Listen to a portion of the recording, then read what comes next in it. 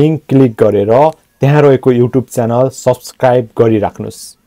भविष्यमा यो अप्सन नेपालमा आएपछि तपाईँहरूलाई अपडेट गराउनेछु र यस्तै इन्फर्मेटिभ भिडियोहरू बनाउँदै जानेछु।